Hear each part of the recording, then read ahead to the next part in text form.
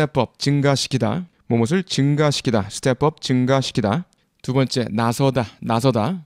자, 세 번째를 보시면요. to improve one's performance. 퍼포먼스를 성적을 성과를 개선시키다. 또는요. or take on more responsibility. 더 많은 책임을 떠맡다. take on more responsibility, especially at a crucial time. 특히 중대한 시기에. 이 세 번째 의미는 두 번째 의미와 맥을 같이 하고 있습니다. 두 번째 나서다란 뜻이죠. 나선다는 것은 더 많은 책임을 맡으라는 거죠. 나서서 뭐뭐 해라 이럴 때 나서다란 표현을 쓰죠. 그래서 두 번째 의미 나서다가 좀 더 확대돼서 성과를 개선시키거나 중대한 시기에 더 많은 책임을 떠맡다란 의미가 되었습니다. Step up the pressure.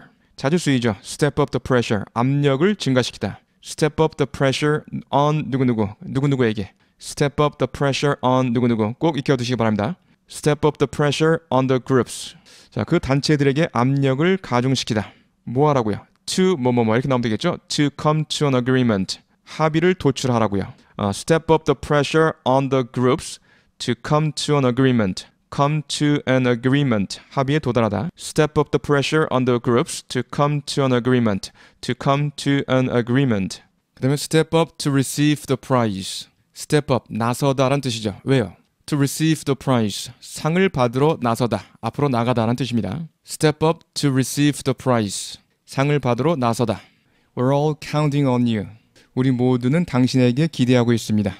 To step up, 나서서 and get this done. 이 일을 끝마치기를 기대하고 있습니다. We're all counting on you to step up and get this done. 그 다음에 step in도 알아두셔야겠습니다. Step in, 개입하다라는 뜻인데요. step in, 개입하다. It is time for the government to step in. 정부가 개입해야 할 때이다. 정부가 나서야 할 때이다. It is time for the government to step in. 그 다음에 step out도 익혀 두시기 바랍니다. 잠깐 나가다란 뜻입니다. I'm sorry, Karen's just stepped out for a second. 죄송하지만 캐런이 방금 잠깐 나갔습니다. Karen has just stepped out. Karen has just stepped out for a second.